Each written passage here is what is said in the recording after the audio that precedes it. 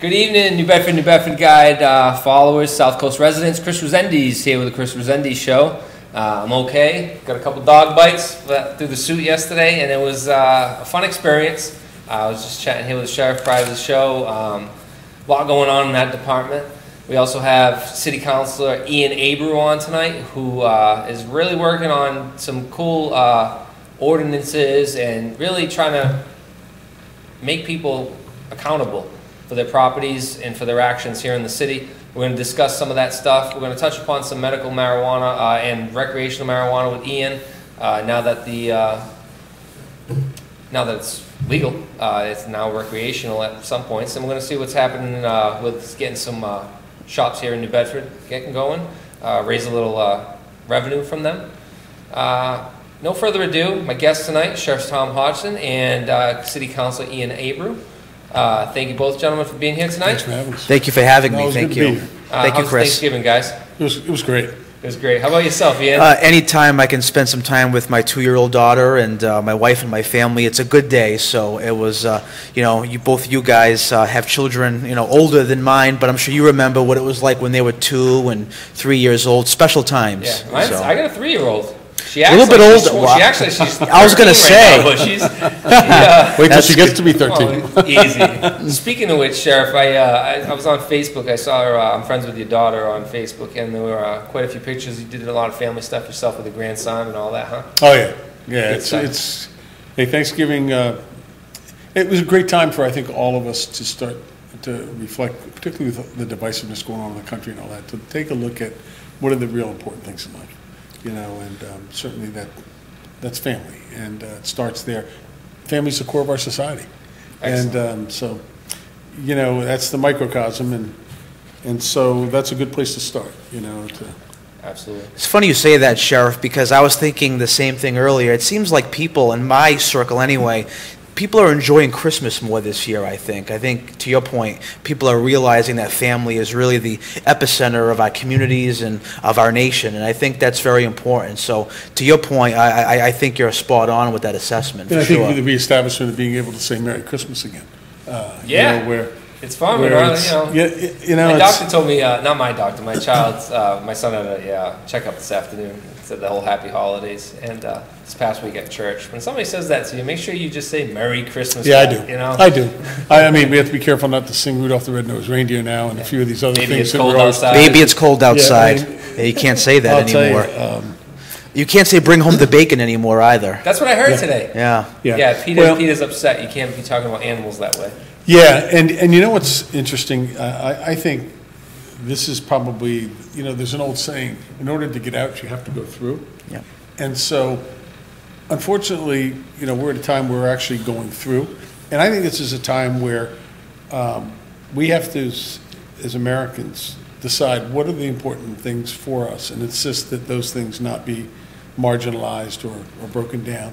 Um, you can be sensitive to things, but when, when we start looking at people changing these long-standing traditions that somehow we survived through, uh, I mean, if you can show me where, you know, bring home the bacon and give me some, some real hard facts around where that actually hurt somebody, um, you know, um, Rudolph the reindeer, Rudolph the red-nosed reindeer, I could probably say that once or twice. Um. You know, when you think about it, how many, how many kids were harmed by that? I mean, I've only been harmed by that. I mean, these. these What are they trying to say is wrong with Rudolph? Do you know anything about We used to sing it in school. Yeah. When I went to the Gomes School as a child, we used to sing Rudolph and you know and uh, you know you know love- Easy, You we don't wanna hear the- we no, don't no, no. wanna hear- we don't wanna showcase the no, singing no. You'll go down in history like George Washington. We used to say that and do all the funny things as a kid. We I don't know. And- I, I enjoyed singing it. And it's, it's cold outside. I mean, come on. Wh- wh- What's, where, who's been harmed by that? And you know who, uh, at the end of the day, these people that I noticed, uh, it's people that have no skin in the game for whatever it is. The, the, the, the people who make the most noise. And like I see a lot of it, especially with uh, the rights of African Americans. It's like the white lady that lives in, in Waltham or, you know, the suburbs, Brookline. Sure.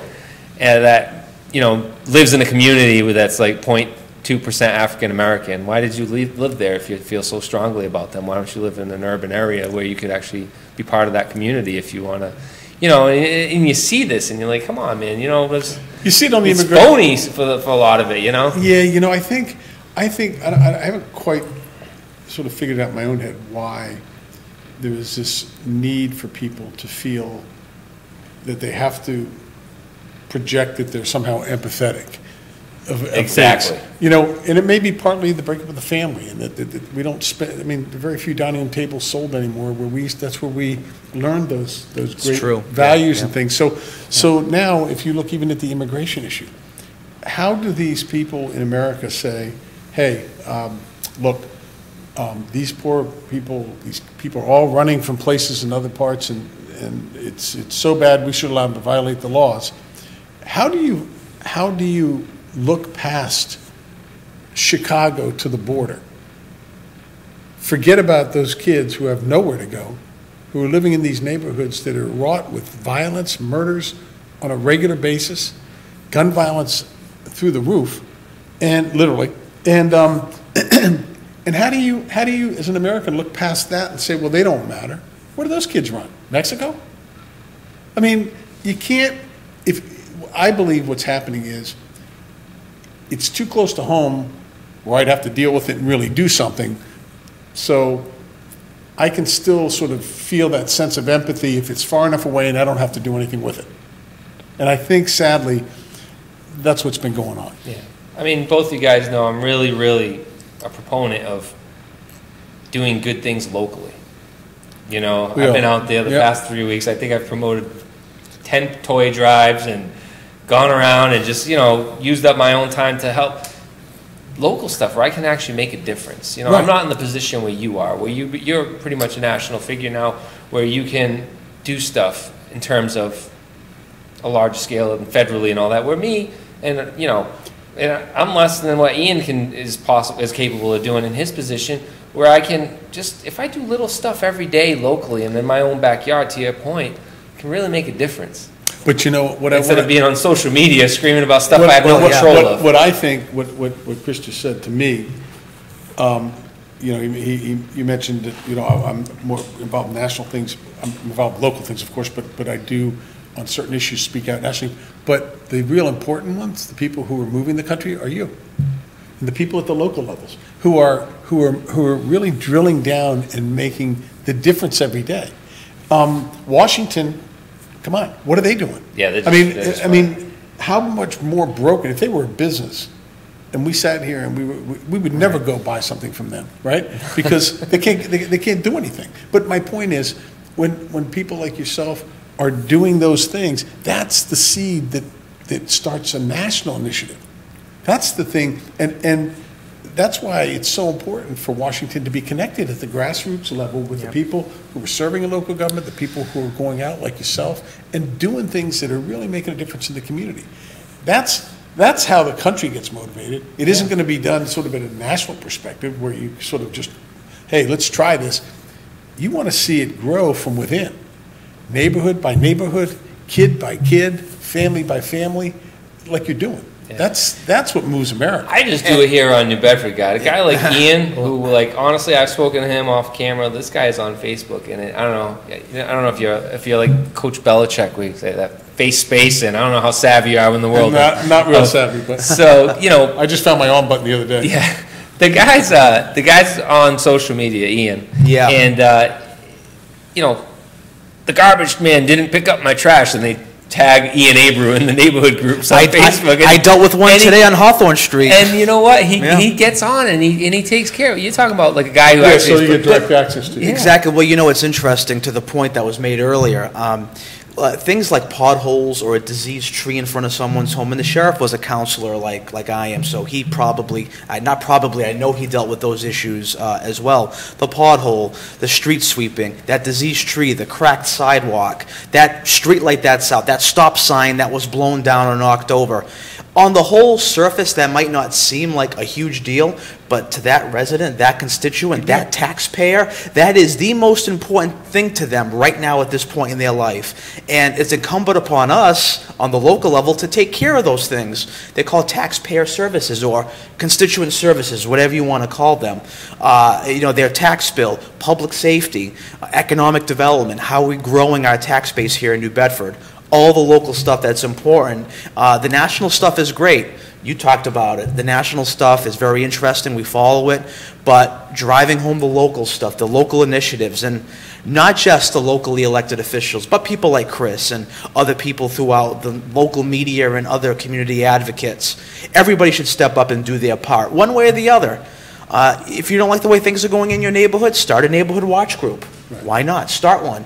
Um, if you have a concern about, I don't know, public safety or taxes, we'll call your councilor, show up to some of the meetings, be engaged. All of our meetings are open to the public. Come on in. They're the people's house. You know, Brian Gomes, you know, the people's house, that's his slogan, but he's right. It's the people's house. Come on in. See what we're doing. Be part of the process. I personally, I want to empower each and every New Bedford resident. That's important to me as a local elected official. Well, yeah, I want you- you to know where your tax dollars are going and how we can help. You definitely, you definitely are accessible, especially on social media. Uh, in terms of accessibility, I mean, I haven't asked you to come on the show without you ever saying, no, yeah, I'll do it, I'll do it, and you do it with several other venues as well. Uh, the accessibility and, and just the wherewithal to know that you have to be out there and just stand by no matter what. I know that you do. You know that every time you open up your mouth, there's going to be the people Yeah. that, and you just Okay. continue to just, you know, be steady and, and, and on, on that same path that you've been on for quite some time now. But we can't, you know, we can't do it without, without your venue and what you do, because the public can't be educated about everything. He was just speaking about, you know, people want to know how to do this, how to do that, how do you access th- certain things? How do you, you know, how do they understand how to go about it? They- For people that may be watching the show today, they may not, they may not know that you were on there, and now they know Sure. how to go about doing it because you're providing the venue to get that out there, which is huge. So it's really, um, I think we all have, have a role, obviously, at the local level, Yeah, of to, course. um, to deal with those things in a way that people can get access.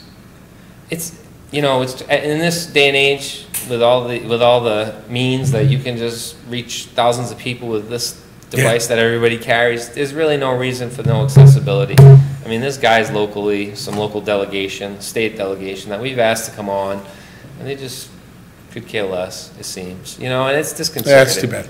It's That's disconcerting because it could help out a lot of things, and now, you know, I've already formulated an opinion based just off of that. And you know what? I, I'm never afraid to be asked the hard question because that's, and I'm here to answer the hard questions. I don't, I'll never shy away from an interview. I think you know that, Chris, and Yeah. the other local He, uh, he media already tried. outlets. He said, "Hey, in a couple weeks, I got something coming on. I want to talk about." I said, "Yeah, all right, we'll something's get coming up, all right? So, but you know what though? Like he just said, as I get a FaceTime request from somebody You while I'm on the air, what's wrong with these people? You, you was told to put it on silent. I You was on listen well. silent, but uh, come on, I'm on the air with the Chris Resendes show. But uh, no, in all seriousness, um, you know, coming on these programs, it's an important outlet for me and for all elected officials to talk about our agendas and what we're doing, or you know, some maybe what they're not doing. Maybe that's why they don't want to come on your show. But I'm always ready, willing, and able. I know many of my colleagues on the council would want to come on here as well. You've had Joe Lopes on here. I think I've had pretty much. Uh, You've had, uh, yeah, you've had most of my colleagues Yeah. on. The council is great. All 11 of us, we're, we're all transparent. We all want to come on and talk about what we're doing because we love what we do. do you ever miss the days of the city council? Um, I enjoyed my time there. Totally out of left field. Sorry about Yeah, that. no, no, I think that's the first I- time I- I've actually. I, I enjoyed my time there. It was a great, um, that was my first serve, uh, time serving in Yeah. elective office. And I really, um, I learned a lot. Uh, and I enjoyed my time and my colleagues. Uh, but I, I think I was not meant to be a legislative type. Yeah. Um, but it's- It has to be somebody that really enjoys it, um, to stick in with it for a long time. I, I, I prefer more How the many terms executive did role. you, how many terms did you serve? I served um, almost three full terms. before I Okay. got appointed. I stepped down in the last, uh, I think the last six months or so of my, Okay. my third term because I was appointed at that point. I assume you were the chair of public safety? I was not. Oh, really? Chair, Okay. no. Figured that would have been in your wheelhouse. Well, it would be, but I Yeah. wasn't the chair. Okay. Uh, We had more senior people there. that, Okay. um, And I was, I know it's going to surprise you, I was a little outspoken. But, um, but, um, no, I did enjoy it, and I thought, I, I learned a lot. I learned a lot about the process, and I thought it was, um, it was great for me um, in my first chance to, to, to serve the public, So so, that was your first uh, political position? first time, yeah. Yourself as well, right? Yeah? Uh, Or did you serve in anything else? No, no, it was my first time serving, yeah. I had ran twice prior, and then I had gotten elected in 2015 when David Alves decided not to run. There was an open seat, and I was subsequently reelected in 2017, so I thought- I- I'm, I'm winding down. Well, next year will be the end of my second term already, which is crazy. He knows, these, these legislative terms just fly right by. Yeah. He's, he's working his way up to the next mayor's, uh, next mayor's uh, race, right? Uh, No, no, no. Yeah. I, I'm happy where I am today. Of course. Hey, listen. Today. I'm going to tell you one thing. If you're on the No, city I love the council. the natural progression is mayor or a- or uh, you know a county-wide position. And to just sit there and rot away, I'm not going to cast any stones at people that have been sitting there for the past what, how long, rotting away. I don't think you should be a lifelong city council member. I think you should aspire to do other things Well, one way or the other, the city council is not going to be my life's work. I don't know what the future holds for me, uh, whether it's public or private sector, but um, I don't see myself on the council for the next 30 years of my life. I, you know, things can change, but um, being on the New Bedford City Council has been my life's honor professionally, but it's a chapter of my life. It's not going to be my life. So who knows? You stand where you stand. Yeah, I am actually. Um, I, I, I'm doing, I- you know, this I is. always, I always wondered that. I'm like, where's he going? What's he Everybody, gonna you do, know, it's funny, uh, you know, the the work I've been doing in Washington and so forth, uh, with the White House, that uh, had a number of people say to me, uh, in fact, I think it's Chet Curtis and, um, and um, um, Ms. Wong, is it? Channel Five. Yeah. And um, she- they said, uh, so you went to Washington, huh? I said, no, I actually just got back. No, no, no, I mean, you're going to go work for the president. I said, no, unless you know something I don't. Yeah, yeah. And he said, uh, Chet Curtis said, well, what if the president asked you, would you go? I said, no. You tell the president no? I said, yeah, respectfully I would, and not because I don't support him, but because of what I had said earlier. I believe that when a president takes office, too often, they draw from the people in the communities who have their, their, their uh, fingers out into the, the tentacles out into the community and know the intimate issues that are going on. And when you do that, you sever the ability to be able, when you do establish policy, you do file executive orders or whatever you're doing, you lose that benefit of having that direct pipeline to the people. Because when you get to Washington, believe me, I grew up down there, it's, it's sort of a, um, It's a bubble. it's a big, big bureaucracy that moves very quickly depending on the the tenor and what's going on on that particular day. And so here, I mean, you need only look at Congress. Uh, I mean, look, we, our city council here in New Bedford, and the and the selectmen and the councilors in this county, they're, they're they're drilling down and doing things that are making a difference. Tell me what the heck Congress has done other than argue and scream on both sides of the aisle, wasting our time, our money, making no decisions, and tied up in all kinds of stupid investigations that are going nowhere. I mean, this has been going on since the last administration where the Congress has. There's no gotten- question. There's no question. They've been just going back and forth, and it's just like, you know, at, at some point, Enough's enough. and uh, I don't even know how to put it nicely. I mean, it's just. you It know, seemed like infrastructure was going to be an initiative that both sides could have agreed on. They can't even do but that. They can't even get infrastructure No. together. And that, to me, is a bipartisan issue. Come on, folks. The opiate crisis, that's a bipartisan Yes. issue. There's some things that, come on, guys. I mean, let's let's, let's talk about roads here. Let's talk about Yeah. airports and bridges and people dying in our communities. That's something that, you know, love him or hate him, Trump's actually worked a lot on. He tried, you know, with, especially with Sessions, was a monster when it came down to, you know, attacking the, uh, the opioid crisis. He really was. I mean, the shark can tell you. Well, the First Step Act, too. The First Step Act right now that he's working on, um, we, we, we've been working with him behind uh, the scenes and also now publicly. uh, to try to get the first bipartisan bill through. He, he wants to, look, it's not, there's no bill that's going to be perfect, obviously, because you, you have two polarized sides, and this is one of the ones where, you know, even the Cory Bookers of the world saying, look, I don't really like the, the, the way the bill looks, but I can live with it. And on the other side, you got, you got the conservative Republicans saying, you know, this isn't conservative enough. But you got to start somewhere and build on that. And so, 100%. and so, you know, I, I, I was on, on the phone with him, uh, two days ago, talking about what's going on on the border, and I said, look, there's no one that understands how to transport prisoners, how to search them, how to manage the property, whatever property they have, More than the local sheriff. more than the sheriffs and, and deputies. So rather than expose the federal agents to the potential liability of doing something down there that you can't, you're not normally used to doing, and have a problem happen or get- or ex- expose uh, taxpayers to liabilities by having somebody search somebody they didn't how to properly search them, and the people file a lawsuit, and on and on and on it's what we do. We manage, we manage the holding facilities, we manage transports of prisoners, we manage the, the um, inventorying of the property that we take into custody. And um, so I said, you can get a force multiplier by having the local sheriffs. I, even when George Bush was in, I said, when Homeland Security happened, I said, listen, I was down there and I talked to them about when the president's second term's rolling around, and the GAO's done an audit on the number of Homeland Security um, command centers that have been purchased nation nationwide, and you've got 15 in a 15-mile radius, that's a problem. Yeah.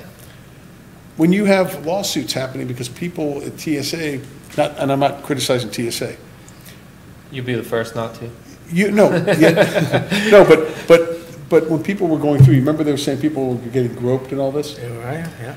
I said to them, "U- u- utilize the people. That have already been doing That it. are already doing it to train, at least to train. You know, we've been looking at, we were, 100%. we were looking in the soles of, sh- of shoes long, you know, long before the shoe bomber came along. 20 years ago, I Yeah, was doing it. You know. You know, and I- You- and You I know all the like- hiding places and all And the you're things. doing that- it, and you're yeah. like, and then you're at TSA, you're like, dude, you're wasting your time. You're just touching me in places that nothing's gonna be. Like, come on, like you, you know, someone that's already done it and been through it. Like, Right. I, you look at him and you're like, and that's exactly 100 Yeah. percent the truth. So look for the people who try to target your resources where they're best served, and you'll, you'll do better with your overall resources uh, that are available to you. Speaking of targeting resources, Ian, uh, something I really wanted to talk to you about uh, in this region, have you on here tonight, uh, was holding uh, property owners accountable. Sure. and you know, and using our resources within the city for good use and making sure that you know we have good housing for people and make it an attractive place to live and not have neighbors living next door to derelict properties and you know all the problems that come with it. Yeah. I mean, what's going on with that? That I know you guys really did a push a little while back, where you know you, you really tried holding property owners responsible for their properties. So, uh, thank you for uh, bringing this up. So, up until 2014, New Bedford never had a problem property ordinance for uh, landlords who are habitual offenders, those who are continuing to allow their properties and their units and tenements to to uh, be denigrated, and uh, people are living in squalor and they're not upkeeping their properties. So, finally, I wasn't on the council yet, but in 2014, the council, uh, working with the mayor, had um, uh, ordained and ratified a problem property ordinance,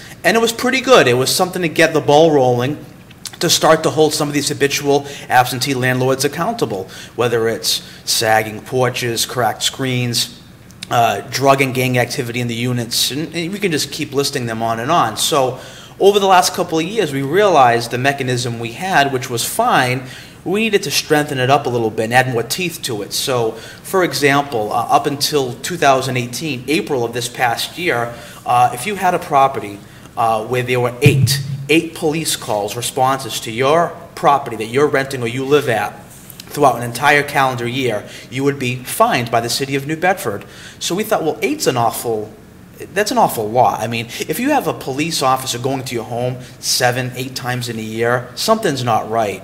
So we tightened that up. We said, well, if a police officer is going to your home four times in a year now, you are now in violation of the ordinance. So we, we tightened that up from eight to four. We have a lot of um, buildings and properties here in New Bedford that are non-owner occupied and occupied and, and owned by um, uh, uh, individuals who live out of state, live out of the region, and we don't know what's going on. We don't know how to track these people down. They have these, these two, three deckers that are run down throughout all these different neighborhoods. I could tell you how you could track them down, Sheriff's Department Civil Process Unit. Well, you know, but you know. They pay them, they pay them pretty well every month. Nice segue there. But, you know what we did? We said, now, if you're non-owner occupied, you have to put on your door who owns it and how we can contact you by, by our own local law now. So you have to put your address, your phone number, all of your contact information. So if there is a complaint or if there is a citation to be uh, mailed or administered by the city, uh, we can get that to you because it was a disaster trying So to track now all people these down. houses have that? Uh, if, if, if the owner does not live on site. Why, why wouldn't they have a database at City Hall? So in other words, So we're getting it now. okay, because They're it would seem to me compiling that would make more sense.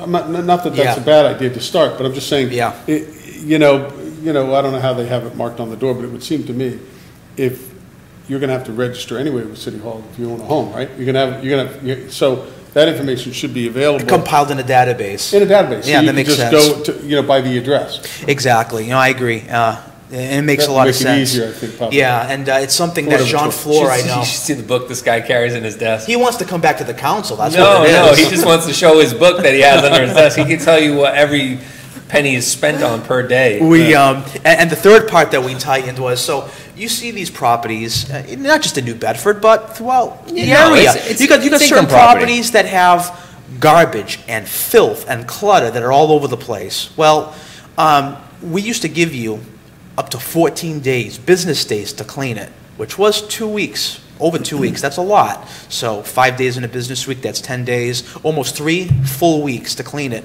We tighten that in. You're We pretty said- good with your math. yeah, not bad, huh? but we could say is now three days. You got to clean it up in three days now, which is pretty good. Three business days. So if not, now we're going to start whacking you with these fines, and we'll go up and up and up in increments. And uh, if we need to take you to housing court, we will. We don't want to, but we will. So. But the point is that we've tightened these up, and we've seen a lot more compliance from uh, people who have been deemed as absentee landlords in the city of New Bedford. Look, they pay a lot of taxes, a lot of these people. A lot of these uh, landlords own 10, 20, 30 uh, units, but, and I appreciate them growing our tax base. I It's can- great. Yeah, I can tell you one guy that I actually said that has a bad name in the city, and he's, you know, and I told him, I said, you know, kind of get a bad rep, and he's like, and he got mad, you know, we're at a, we're at a Celtics game together. Okay. And he said, you know what, the city should give me an award for the amount of money and taxes I bring in, in revenue into this city.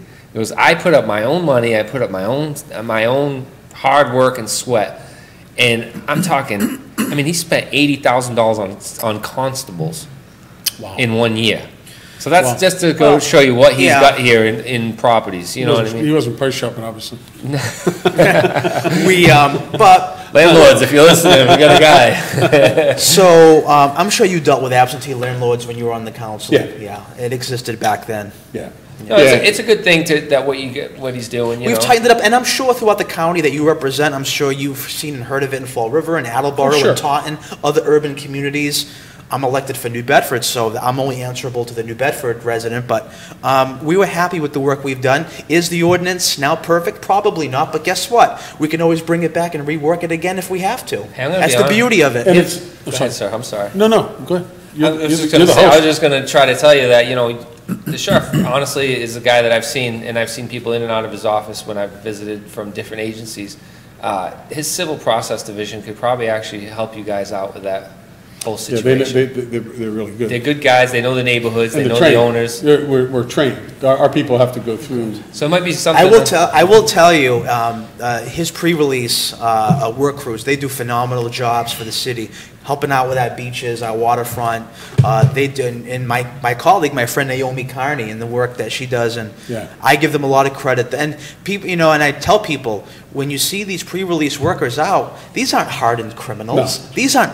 You know, rapists and murderers. Yeah. You know, they're not going to be running around with chainsaws or hammers, I mean, and uh, attacking each other. And you can speak to it better than me, but I tell people these are people who are getting empowered and reintegrated back into society. Right. And we're giving them the tools they need to be a functioning member of society when they leave. Right, and we've had, we've had people, we had one guy who was a landscaper, he said, I'm not doing, I'm- when I get out, I'm opening my own painting business. I actually like painting more.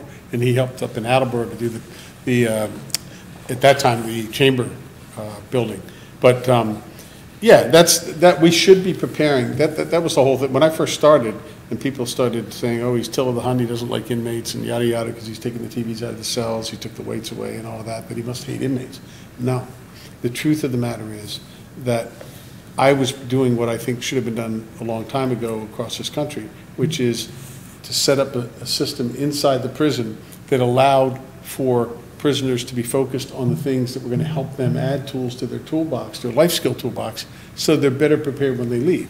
So if we were in prison right now and we had a choice, and they, they said, hey, listen, you guys, you can go watch TV, hang out, play cards, lift weights, play basketball, do whatever, whatever you feel like doing, or you can go to a substance abuse program and deal with your drug addiction. You can go to get your GED, attend our religious retreat, um, get into our, our, um, our culinary program.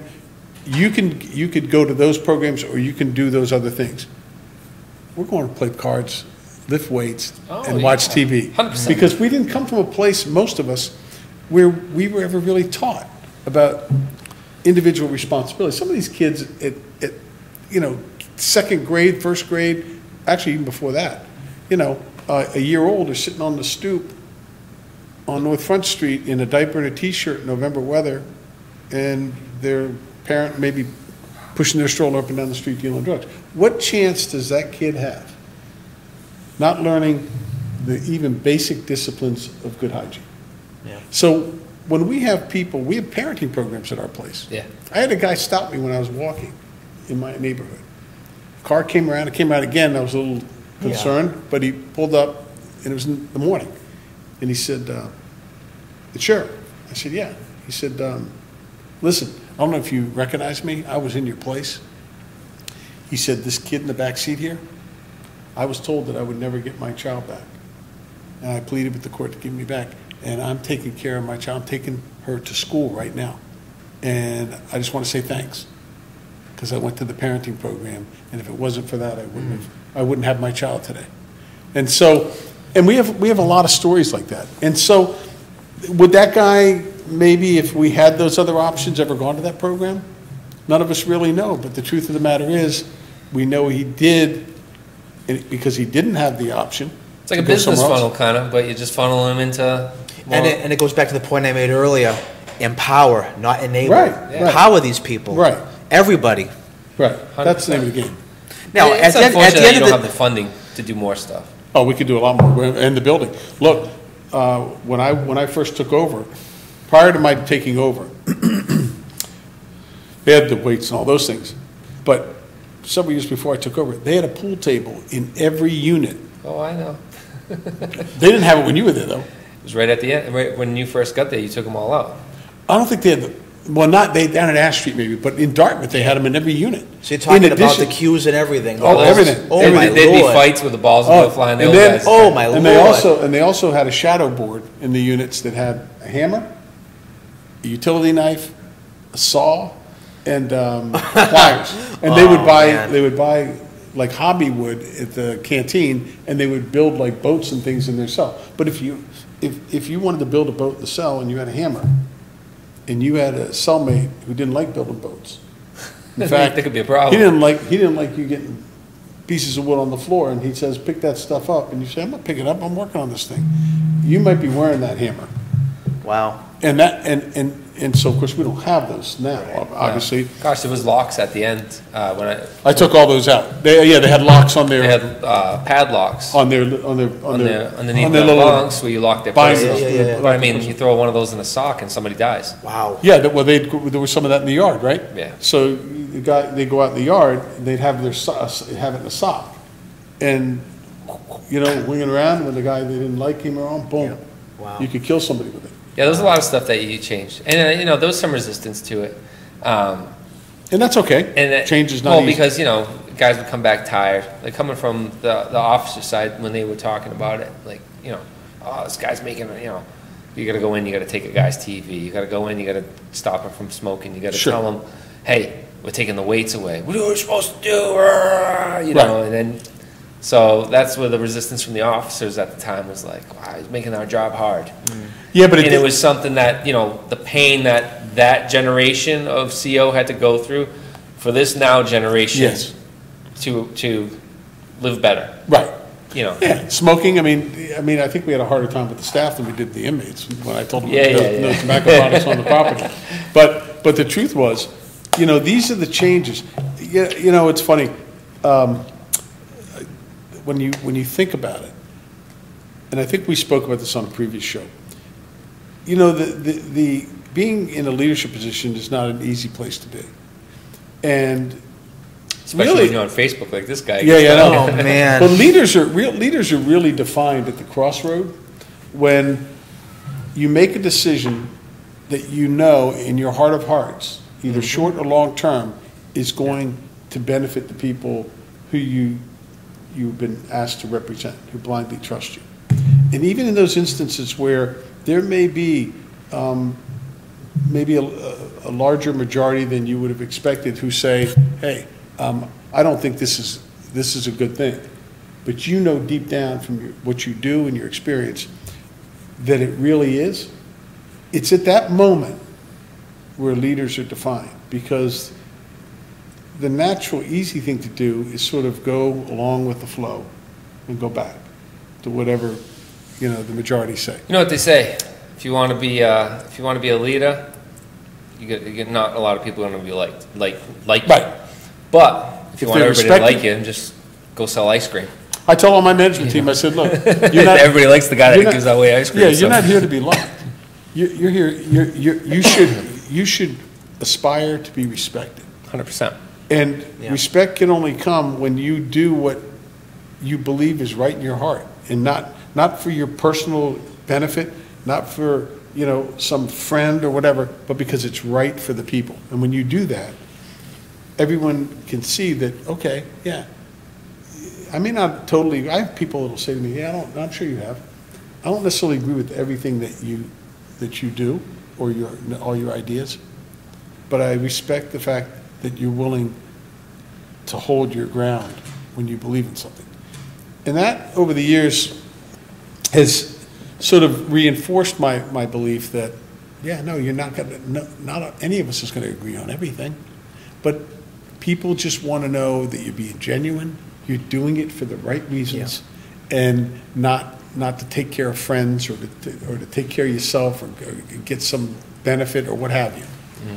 And that's really, that's the challenge in public service, I think. No, How about, I, how about with you? You ever come across that like tough decision where, I mean, you guys just had one. I'm gonna have to ask it because the questions came up a couple weeks ago. You know, is this stuff that you just have voted on that you know is not gonna be popular? That you know, you just you're like, God, Sure. I gotta do it and I gotta deal with it. Oh, there, there are always issues. Every meeting, there's issues, whether it's a, uh, a communication from the mayor on a transfer from one department to another, or a mayoral appointment, or, uh, you know, we call them in New Bedford motions, uh, but it could be also called a um, uh, proclamation or whatever other cities call them, where, uh, you know, uh, one of the colleagues has an item before us, and it's hotly debated, like, for example, uh, the whole charter school uh, expansion debate. That's been very hot on the local level here in New Bedford, uh, whether or not to, uh, to allow uh, schools like Alma Del Mar and um, Global Charter to expand for that thousand-plus seats uh, that they want to uh, put in for. Uh, Ultimately, it's out of our hands. Locally, it's up to the state. The state law allows them to put in for those applications, but can we lobby? Do we not lobby? So those are very controversial issues. Uh, We're faced with them all the time. Taxes, setting the budget every year. That budget that we get in New Bedford, I don't know what it was like when the sheriff was here, but 75% of our budget in New Bedford is non-discretionary. We can't touch it, meaning pensions, health care, charter schools, because the money follows the kid. So 25% of that budget, we can only touch and cut. And Chris, what are we going to cut from? Are we going to cut from police, fire, teachers in schools? Are we going to cut from DPI, the people who plow our streets and fix our infrastructure? Where's the pork? It's not much. So Yeah, you guys only have it's tough. Yeah, a quarter of the bu- the, the, the true budget is what you're, and it's tough. He tells me every day. I, honestly, you got to sit down in his office. He's got to show you this this law. I've He- been in his office, I used to work for him. You gotta you gotta see this. Uh, The this Management Accountability Program. Oh, you've, you've, you've updated it, or? No, well, it's, yeah, well, we've, we've Yeah. expanded it, but yeah, it's, two and it's half. super detailed, like to the day cost operation. Like he gets per minute what it costs to do Two- any any function of. it. You still got it, yeah. Okay, see, I remembered, and the Yeah. round table? Somebody gave that to me. Okay. Yeah, and, uh, yeah, and, uh, I got a picture of the presidents playing poker, uh, that my brother gave me, but, but, no, but, but that's an important, a very important thing, and in fact, I, I've recommended they do it statewide. Imagine, I mean, this, this program you're speaking of, we, we measure two hundred and fifty operating indicators every day on every shift. Every I mean, single day. Meals served, overtime, medications given out, types of medication, um, How did you generate that? It was just a, a work in progress, or did you use somebody, No. else, or did you model after something We, else? I modeled it in, in ninety-eight, I was in, in, at the National Sheriff's Convention, and I saw it done at Broward County. And I came back and I said, this is without question the best accountability program for government I've ever seen. It's it's pretty detailed. It's, yeah, oh yeah, it's very detailed. And, and, and so, you know, the managers can see in real time, if you're, if you're running ten percent ahead of your projections today, you're gonna know it. And we're gonna ask you, are you aware that you're running ten percent ahead of your projections? And if you are, what are you doing about it? How are you correcting it? And it's not meant to be critical of people, it's meant to make sure that people know, you gotta pay attention to your budget every day your, Yeah. your, your individual department budgets. And ironically, um, for example, if you did this statewide, well, if you did it in, in New Bedford, look at this. So I'm gonna tell you statewide first. So there's five regions in the Massachusetts, right, for DPW, let's say. So at the first quarter, you bring in the, the head, the heads of each of those, those five districts. And you say to the first one, okay, Region Five, how many shovels did you have at the beginning of the year? A thousand. How many do you have right now? Five hundred. Where are the other five hundred? Now, you need to know that. You need to know as the manager, did they break? Did, did three quarters of them break? Or were some of them stolen? Right. Or were some of them lost? If the majority of them broke, you're gonna know, as a city councilor, as a, as a, a city administrator, or as the governor, you're gonna know that, whoa, wait a minute, we may have bid too low on this product. And we're not getting the value for the taxpayer because they're breaking and we have to keep replacing them, which is really costing us more, as opposed to maybe buying a better product. It's, it's, it's that detailed, It's, it's an auditing, basically, How in a come you sense, guys- but it's an auditing in real time. Yeah.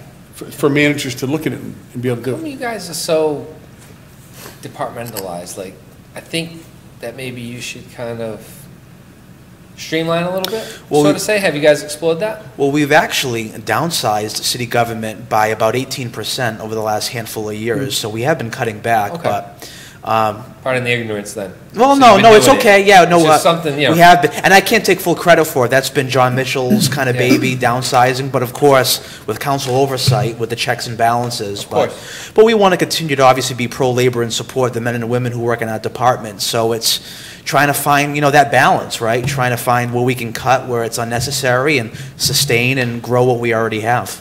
I mean, I hate to I hate to sound like the uh, the Fortune 500 company guy, but you know, if you cut repeated positions at the top and kind of build to fill in the holes, the pothole guy, the you know, the city plower, the police officer, rather than the department heads. You know, Well, you- sometimes You know what's interesting? The patches, not potholes, but patches in the road, they've gone up quite exponentially since you were a counselor. I, I've got to tell you, you're going to be shocked when you hear this. So I was meeting with Jamie Ponte, our DPI commissioner, about a while ago. We, we meet regularly, but this conversation, we're talking about patches in the road. And we have to subcontract that because we don't have the equipment to do that. It's too expensive, and you have to be specially trained to fill patches in the road. Point I'm making is, it costs the New Bedford taxpayers collectively about $500,000 every fiscal year to fill about 50 patches of road work. $500,000. half a million dollars. Half a million dollars, $500,000 for 50 patches of road. Why? No. Just because the equipment, uh, the, the labor rates, just, uh, it's very specialized. So my question was, well, why don't we buy the equipment ourselves, No, we'll no, save the money, buy the equipment, and have our own people do it, train them to do the job. Easy, easy. I just got a business opportunity. Oh, boy, here we go. What, Kidding me? what do you got? What do I got? Yeah. I'm gonna learn how to patch some holes for five, uh, for half a million dollars. I can tell you that right now. Yeah, no, but, but that's, but that's what I'm talking about. Um, it's, it's expensive business here in the city of New Bedford, and it's an over $390 million budget. Listen, I'm gonna tell you something. If you're paying fi- half a million dollars, it's simple math. You gotta find some sort of federal grants to buy equipment and train you guys to do it. And here's the other part about it too. A lot of these holes that are being opened up are being done by outside utility companies. And I know that at one point you And- guys were and- and really cracking down. We are working at holding them better accountable. There was an issue on Hollyhock Street about a year and a half ago. They, and I'm not kidding, the utility company, I'm not gonna name the name of the company, but the company left the condition of that street third world. And I exposed them on Facebook. I tagged them and everything, and I think even Mike, and I know Yeah. Mike, shared it on the screenshot on Facebook, and I got a lot of love for it. I got some, some critiques for doing that too, but that's okay. Listen, if you don't do right by our taxpayers, I'm gonna expose you. I'm gonna call you out. Do do you all ever look at military surplus to see if they have the type of equipment? No, that's an interesting point. I'm gonna look at that now. Because, uh, because sometimes you, you'd be surprised, uh, what you can come across, they, and they have to turn their equipment over. That's a They good point. The, Yeah. the, the MRAPs and all that stuff, they give it away. Right. They literally do. Yeah, interesting. They literally do. I wanna look into that, thank you. Yeah, They literally That's a do. good lead, thank you. Uh, I just want to, you know, add a couple questions here from the audience. Uh, One of them, somewhere along the line. Quickly, Sheriff, you had some visitors on Thanksgiving? I did, they, they were, um, Protesters at the sheriff's house Thanksgiving morning. yeah, I did. Um, obviously unexpected, I, I don't know if I'd known they were coming, I might have been able to prepare more turkey. Um, but I did go out, wish them happy Thanksgiving and tell them it was nice of them to stop by. Um, But, um, yeah, you know, it's, uh, it's the world we're in right now. It's, uh, it's probably, it, it didn't bother me. Uh, I felt bad for our neighbors because Thanksgiving Day. and 100%. You have people out there protesting. It's not, not very nice for them, but, um, you know, That's when you know you've made it, by the way. oh, yeah. Politician. I'm going to get to you on the next question, Ian, about this, because it- this is going to lead into my next It question. can be, it can, the, the thing, the, the only thing that's really concerning about it, didn't concern me, because they didn't bother me. Uh, I've been doing this twenty-one years, and, um, it's not the first time I've seen protesters. But what's, what's troubling is what's going on around the country. That, you know, if you wanted to get your message out, and it was pretty obvious in this case, if they really had a message, which was get rid of ICE and 287G, they would have, and they wanted more, pe- as many people to know what their, their issue was, they would have been facing up and down uh, Hathaway Road, so traffic going this way, but they weren't. Their, their whole attempt was to come and disrupt, my- try to day. disrupt my Thanksgiving by standing across the street, because there was no houses across the street, with their big, long banners and their bullhorn and yelling, you know, all the things they were yelling um, to me. So you weren't really there to get a message out. You were there to think you were To going to harass. intimidate, harass. There's a whatever. difference between protest and harassment. And where the danger comes in is, in my instance, it didn't, I didn't care. But what was interesting was, there was somebody driving down Hathaway Road, saw it, turned the corner, came up in my driveway, and was visibly angry, and said, Sheriff, I'm not gonna say exactly what they said, but basically they're saying, these people are a Yeah. bunch of jerks. And this is, this is outrageous what they're doing.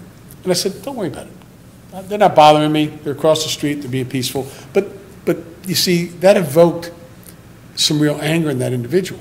The more they do this, It's going to get pushback. there's gonna be a problem, somebody's gonna get hurt. Because they, they're not out there just sort of trying to get a message out. They're trying to intimidate people. We saw what happened at Tucker Carlson's house. If- They even painted an A on his driveway. If we learned anything from the passing of George Herbert Walker was that you can keep civility in politics. Of course. Um, we can disagree on public policy, Sheriff, of but we can still go to the debate table or the table in general and still talk about the issues. And if we don't agree, we can still shake hands and be How it has to be. My, yeah, three, I, I, I come from a family of thirteen children, right? Probably three quarters of my brothers and sisters are Democrats. Um, they have different views than I have as a Republican. And I'm okay with that. Right. I- You know, I don't hate my brothers and sisters. And sometimes we'll have some really sort of, He, he- not not necessarily nasty, heated in, in that way, but just passionate, or, you know, debates back and forth over some issues. And when we're done, we don't, we don't hate each other. No, you can't. You know, we, You, you- you know what's unfortunate? I see, I, I see it locally, and I talk to young men and women, and, and of all ages, who really want to get engaged and get involved in politics, whether locally in New Bedford or throughout the surrounding communities, and they'll tell me, "I'm not interested because it's a nasty, dirty business." that was gonna be my next And thing, it, exactly. uh, go ahead. What was the question? No, that's question? hundred percent, man. It- It It's just- a nasty, dirty business. How do you do it? I said, well, you got to have thick skin, but you got to love your community. And, you know, for every person that might slander or say something bad about you or slam you or whatever, there's dozens and dozens of people who will support you and will back you and will sing your praises. So you got to remember that. But, Um, you know, to your point though, Ian, I, I, it, it, they've always said politics is, is a blood sport. But, you know, the thing that troubles me is the people, and you look at Washington, you remember when, when we had members of Congress in, in the chamber, sitting on the floor like petulant little children protesting about Ferguson or one of mm-hmm. those issues? Like petulant little children, hands up, don't shoot, which was, a which was a false narrative. And I'm not picking on any party, because the Republicans and Democrats both are responsible for A lot of. lack of leadership. What do you think our kids, our kids that are watching TV, watching the leaders of this nation, sitting on the floor like petulant little kids, they're supposed to be the ones that are setting the example of how do you solve problems in a respectful way, as George W. Bush did with his, his, uh, his opponents on issues, as Ronald Reagan did with Tip O'Neill. Those were leaders. Those were people that understood that you can have a difference of opinion. You can argue vociferously. And you know what? If you win on that one, you got me on that one. I'm going to get you on the Yeah. next one, maybe. well, it's like, okay? it's like John But I'm not gonna be same angry at thing. you. Right. Same thing with McCain. right? Right. Do you guys think that uh, the future of politics, we're losing a lot of talent with this mob mental- mentality, excuse me? Uh, someone like myself at one time who actually said, you know, I, I might throw my hat someday into public service. I will never put my kids and my I wife think through that. I will never put my wife and my kids through that. I'll say it again, never, ever. Yeah. Because of protesters outside your house, because of false stories that come out 30 years later. And, I- and I just want to, and I just want to say, and I'm sure the sheriff would agree, in my opinion, but should, I think it's a fact, wives or significant others and children are completely off limits. You want to come after me or Yeah, course, him, man. that's fine. Leave the families out of it, the daughters, the sons, come on. They didn't ask for it, we asked for it. Leave them alone, you know, because there are times where significant others do get dragged into it, and kids, and to me, that is a, uh, a non-negotiable, non-starter. Won't even engage you if that's the way you want to go. I mean, say what you want about Trump, and, and you know, there's there's a lot of, I think honestly, there's some good and there's some bad. I'll be the first one to, to tear into him if I don't believe in something. But you remember when they went into the kid calling the son autistic, the Oh, youngest sure. one, and come on, man, That's you terrible. know, it's like imagine my kid. I'm out with my kid, and he's got like his goofy look on his face, and all of a sudden they got people calling him. You know, saying that he's sick, and uh, come on, you know. Yeah, we're and bet- that's that's where I, we, we should be better than that. And We are better. We are better than that, we are. You know, And we, and, but we need, there's, there are times in history where we all face a common challenge, where we need to understand that our role and the positions that we have are the positions that people expect us to make the first step. When things are not going well, they expect us to show them, how do you, how do you fix this problem? They're busy in their worlds, raising their families, going to work. They want to know, you know, I'm putting you here to lead. I don't expect you to be teaching my kids that the only way they can solve problems is to hate people, protest, break windows, sit on the floor and pout. I mean, that's not what we're about. We're better in America than this. And so for anyone running for office, those who are willing to do it, I would say, this is your time. This is your time. If you want to step up and move this country to a better place, you have the ability to do it. If you want to focus on being one of those leaders, because people are dying to find leaders that are willing to do that. I tell young folks all the time, when I'm in schools or whatever, I say, when you turn 18, register to vote and run for something. It's the first two things I say to do. I mean, run for a select board of your town, run for something. If you lose, big deal. I lost twice before I got in. First time I got my butt kicked, I didn't care, because I, I cared enough to put my name out there. But you build up your rapport, you build up your, your strategies. You can't be afraid to lose in this business. Um, can it get nasty? Sure, I can, but you know what? Trudge through it and just tr- try your best. If you really believe in uh, civics and in your community and, uh, and, and, and being an American patriot, then no matter what side of the aisle you sit on, I, I urge all young men and women, or any men and women, please pull papers, get involved. Or even if you don't want to run for office, like I said earlier, start a neighborhood watch group. Come to our meetings. Be engaged. Start a Facebook show. Start a Facebook show. Yeah, yeah, yeah. But don't just com- don't just comment on his show and do nothing about it. Hundred percent. And, and do, and, and you know, the other thing is, you know, encourage acts of kindness. You know, you ah, know. Hundred percent, man. Once, That's once, my thing once a right there. week, or once a month. 100%. Hey, find out what the person behind you is ordering at the drive-through, if it's a at Dunkin' Donuts, whatever, pay it. Wa- And, and drive don't away. document it on Facebook. Hey, look at this great Right. thing I No, did of for course this not. guy. Yeah, of course not, no. I'm not. A, I'm not a member of the Catholic Church anymore, but there was a priest that I really respected. God rest his soul. Uh, who used to say, you know, if you need to play the bugle before the good deed, there's no need for the deed. Right, There's no need, which means don't bring attention to yourself if you're doing Right. something good. Right. You know, and it's it's a hundred percent. You know, and you're not getting the real value if you are, I because mean, it's, it's Ow. it's obviously human nature to want to to hear Everybody people likes- say, "Hey, thank you for doing it." It's human nature to feel good. You, Everybody you wants want to be that appreciated.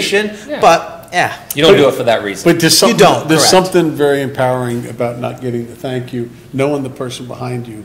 Uh, oh, I like that. You don't know who, you don't know who, they don't know who you are. Yeah. They're like, who is that person? And you're already gone, right? Yeah. You, in fact, well, I remember going down the, um, uh, New Jersey Turnpike once, and I paid for somebody's, but I did it for fun, and I would never let them catch up to me, because Yeah. I thi- thought, like, who is this? They, they must have been thinking, who is this, this person that's paying for my, Yeah. my, my thing? I didn't That's do the whole turnpike, but I did Yeah. it part of the way. But, but no, that is, it's far more empowering to just drive away, because you, you drive away and you go, that person's probably wondering, having a good day, and maybe they're now gonna go, you know, I'm gonna do that for somebody else. spread the kindness. I'm gonna do it for somebody else. It's I don't know who that person 100%. was, but you know what?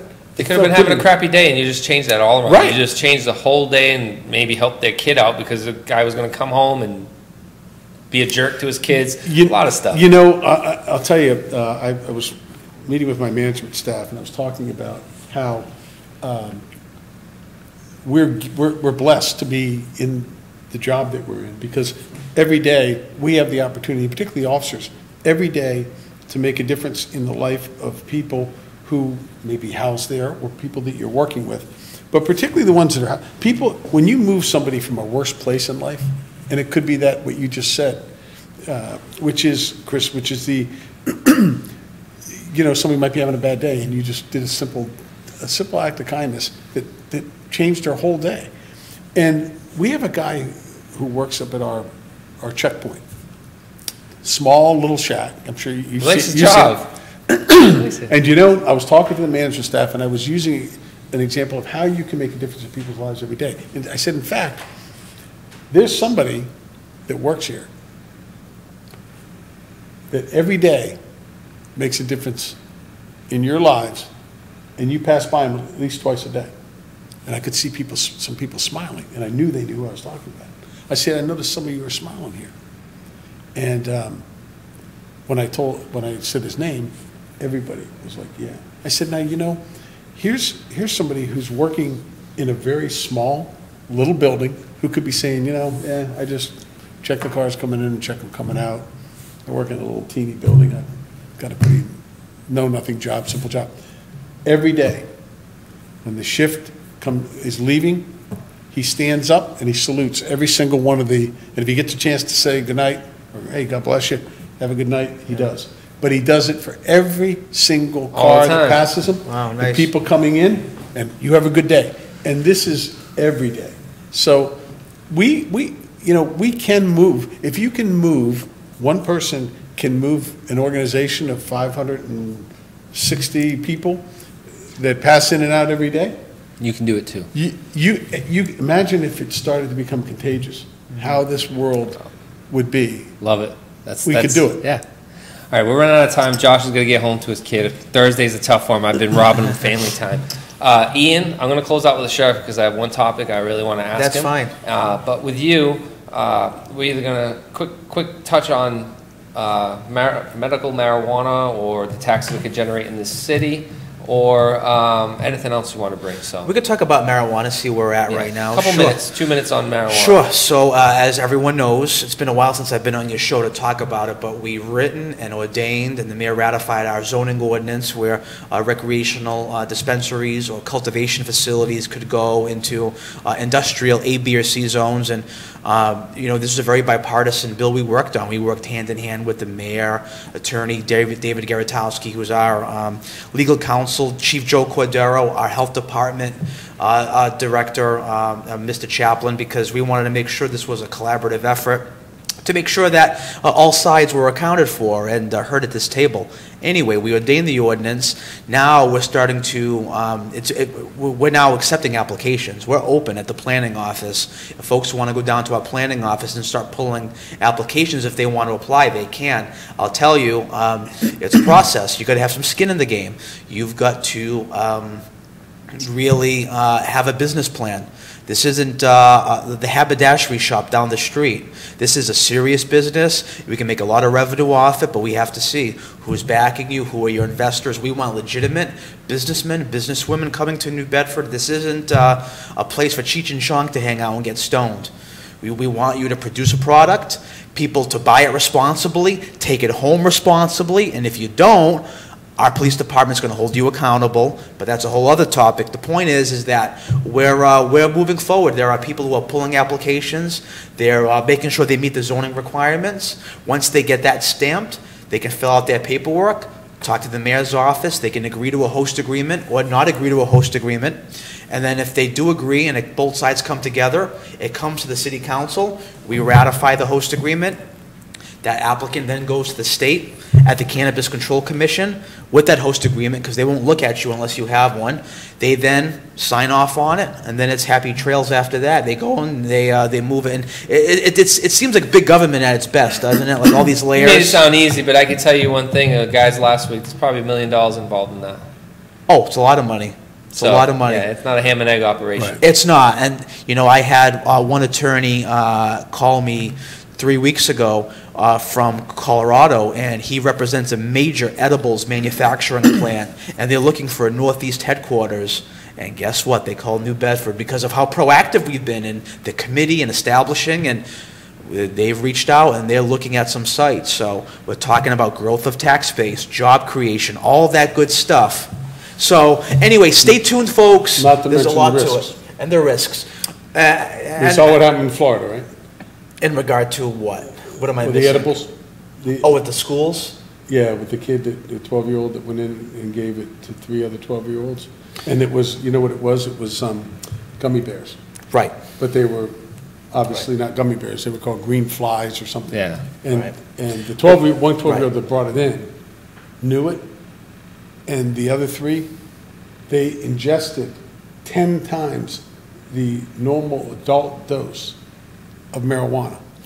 The sheriff was, This is why, this is why Joe Cordeiro had to have a seat at our table. There was no ifs, ands, or buts about it, because fifty-eight percent. It's here, though, Sheriff, to be It's fair. here, yeah, it's here. Fifty-eight percent It's of here. New Bedford said No yes to this. No question. But forty-two percent said no. We have to respect that forty-two percent. They lost, that side lost. But you still gotta respect. Respect their side. Of course. But that, Chris, this could be a whole other hour. You Yeah, know, no, know- I wanted, know- we got a I know couple you're- questions on it, so I wanted to bring it up, plus But also. stay tuned. You know, one of, the question was, uh, a little short-sighted in my opinion, will it offset tax increases in the Um, future? So if well- you're, worried- if you're ready to sell your soul over some taxes, then so be it, but that's the main, that was the question, and that's It's kind of going to where. be a I'm- lot of revenue. Can it? Maybe someday. Right now, sh- no. But if you couple that with offshore wind and maybe some other industries coming in, like other advanced manufacturing, and uh, you know, and uh, continuing to make sure that we try to pass as lean of a budget as possible, coupled all those things together, making sure our properties are assessed appropriately. Um, Get some military, uh, freebies?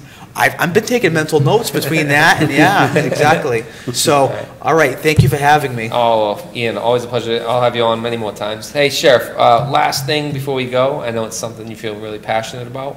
Uh, This past week, two items came up uh, nationally and locally. Uh, In Newton, the judge that's been assisting uh, illegal immigrants on getting out. One of them, I think, was a, uh, on a rape charge for $2,500. And uh, also, a call, a new colleague of yours in the, in the world of sheriffs, just got uh, elected in uh, Los Angeles County. His name is Alex Vill- Villanueva, and he basically said he is going to kick ICE out. Yeah, this is um, obviously troubling. Uh, First, first, the, the issue in Newton with the judge. That is, uh, I remember testifying before uh, Congress about a year and a half ago, and Congressman King said to me, Sheriff, what should be done with these elected officials um, who are harboring or concealing people they know to be in the country illegally? I said, issue arrest warrants for every one of them, because it's a felony under federal law to do it this judge essentially attempted to harbor and conceal someone who not only had been deported twice, what's even more troubling is that this guy was operating under three aliases. Three, that's, that's identity fraud. It's a felony in each of those instances. And so this guy, who knows what he was doing under the three different aliases, but the point is, he wasn't even being honest about who he was. So, so he'd been deported twice. He was picked up on drug, uh, drug possession. He had a fugitive warrant out of Pennsylvania. If you, if you as a judge don't see that as a threat to public safety, and you have no problem trying to protect this person so they can get away, you don't belong there. You, you, you, you essentially have violated your oath. And you violated the trust of the American people. I mean, the people in that community, that guy went downstairs, he was let out the back door, he scaled the fence and took off. Scaled the fence of a courthouse Yeah. and took off. And this judge, it it turned off, intentionally turned off the recording. So that it- what she was talking to the- his attorney about couldn't be heard. So, so, look, I'm not gonna, I'm not gonna prejudge, the facts aren't all out yet, but it sure doesn't look very good. And uh, I, I think frankly, the fact that the judge knew the ICE officer was there waiting, you, you essentially undermined the law enforcement community and said, I'm more concerned about this guy who's got three aliases, he's got a fugitive warrant, and has been picked up on, on possession of drugs, being able to be protected than I am the people of the community where I sit as a judge and the law enforcement community that has to deal with these people. It's very sad. And then as far now, as, how, now, how do you now how do you uh, go ahead and prosecute this guy? Is it is is it prosecutable at some point for what he did through the feds? It's a woman. I mean, excuse me, uh, her. yeah. Well, uh, the Are we going to get there? The U.S. Attorney's definitely US looking into it. he- The U.S. Attorney's investigating it right now. He's also investigating some of the court officers for being involved, which is a shame. Which is the same because they were probably following orders. Right, but the point is, yeah, they're gonna do what the judge probably instructs them to do. Um, So who knows where that, that plays out, but, but certainly rightfully so, the U.S. Attorney's looking at it. Under thirteen twenty-four, Title eight, it clearly states, anyone who attempts to harbor or conceal someone they know to be in the country illegally commits a felony. So, and I even remember mentioning to, to Attorney General Sessions about a year ago, I said, listen, right when I was down there testifying on this, I said, listen, until we prosecute people who have taken an oath of public trust, who have violated the trust, and said, we're going to create a special class of people who don't have to follow the law, and we're going to help them avoid uh, the law.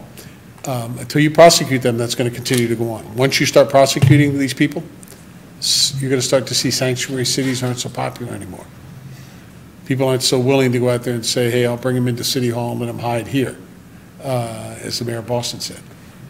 So, um, look, we, we, we have an obligation to the people. If we're in, fortunate enough to be serving in public office, or whether it's a judgeship or whatever, people are trusting us to do the right thing. Hundred percent. Yeah. And so, and as far as the sheriff goes out there, and, and I, I don't care whether it's California or wherever, I've said from day one, I don't know how anyone in law enforcement could reconcile in their mind that they are willing to ignore any law that's on the books. If you don't like the laws, lobby to get them changed. Get Congress or your legislature to change them. But in the meantime, You are law enforcement. exactly. You hit the nail on the head, and you took an oath to uphold those laws and to protect the people, not, not the, not, not the criminals, not the violators, the ones who abide by the law. That's your obligation. Seems like uh, every time I have you on, we, there's a new uh, one of these that pop up. There'll be more. I think it was like two times already, and it's separate incidents that just continues to happen. And people And- continue to die, And yes, innocent people. there is no big boogeyman, but it, it does happen. You know, and you know, oh, it doesn't happen often. All right, so if it, one of those was your mother or your sister or your son, And we're not then, even, then, then it matters. and we're not even counting the number of, of kids that are getting drawn into the opioid crisis because the drugs are flooding in over the oh, borders. Oh yeah, The fentanyl and everything else. So, percent. That's where it's coming from. yeah, I mean, it's documented. China's sending it over to to uh, Mexico, and Mexico's running it up here. Hundred percent. Why isn't China sending it to Canada? Why aren't they sending it somewhere else? Because they know exactly Yeah. where the easiest route is to get it in. Yeah. Right? The, the funnel, the, the. Who's uh, kidding who? yeah, the fun- It's already been established. Right. You know, the pathway, the, the pathway for the drugs to get here, you know, and it, in part, it's, it's America's incessant need for drugs, that there's an issue, that we can also attack that as well. Oh, You there's no know, question. There's, you know, the fight on drugs, maybe it shouldn't have been fought with guns, should have been fought with rehabilitation and stuff like that, back in the day when we were dumping billions into it. We can go Yeah, on and on Which about we that. still need to do now. But the fact of the matter is, you just can't do one or the other, it has to be both. That's right. So part of that is to cut the supply off as best as we can. That's exactly right. And, you know, stronger border protection is part of that plan when it comes just to the fentanyl. If people don't want to see it that way, they're just being blind and ignorant, point blank. Yeah. It's coming from there, it's known, it's documented. Go watch a Vice episode. They sent it from China. It was, it used to come through the US Postal Service. Now the Postal Service is pretty hip on it. They finally caught on. It's really just coming up through the Dominican Republic, via Puerto Rico, or Mexico. And lots of people are going to die from it. Fentanyl is, I mean, one of our, I I think we talked about this before, one of my officers at the Ash Street Jail had to be Narcan three times. Yeah, it's when going to he be came in weaponized contact too. with it. Yeah. You and I had a meeting not too long ago with uh, an expert in the field, and it's a real threat.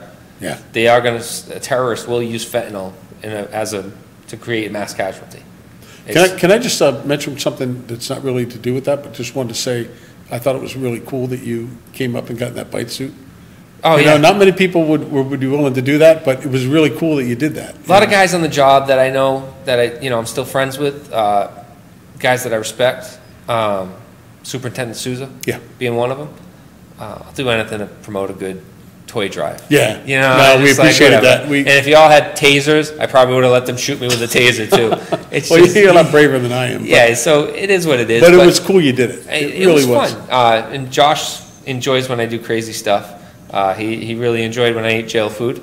Yeah, and yeah, yeah. now he enjoyed, uh, and I told him, hey, I said, I'm going to go get bit, bit by the dog. You in? He's like, Yeah. And he just smiles. He just loves it. We're just happy you didn't bite our canine back, because that would have been a real problem. No, I don't. Yeah, poor I'm, canine. I'm a little. I'm a little. I'm not that well trained, but I'm a little, just a slight bit. Uh, but speaking of that Twitch, do you have any specifics? It seems like you brought Yeah, actually. to talk about it. Yeah, actually, um, we're on, on the 11th, we're, um, we're from 11 to 2, we're going to have uh, people that want to, to drop off toys uh, to our Dartmouth facility, our canine that put this together in support of the um, Justice Resource Institute out of Berkeley. They, um, they support these uh, kids who are foster kids and kids who are adopted. Um, A number of them who have, don't even really believe in Santa Claus, never have, because Santa Claus has never come Never existed. for any of them.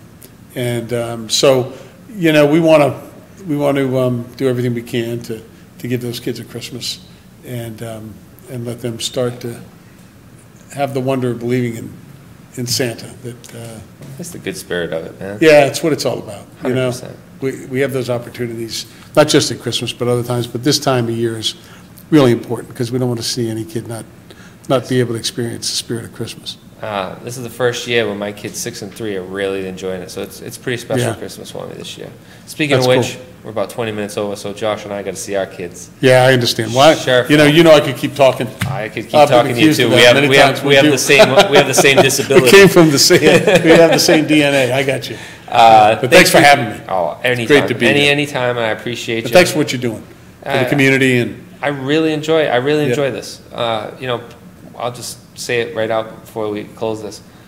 The best part of this show is the opportunities that I've been blessed with to be able to help people. yeah, well, you do it. Stuff that I've never, I've always wanted to do, but I never was able to put it together because I didn't have the right opportunities. And now the opportunities just keep folding. I just keep saying no. My wife keeps saying, "You're spreading yourself thin. You're spreading yeah, yourself yeah. thin." So, Well, you're not just moving the community, you're moving the country, and thank you for that. Thank you, sir.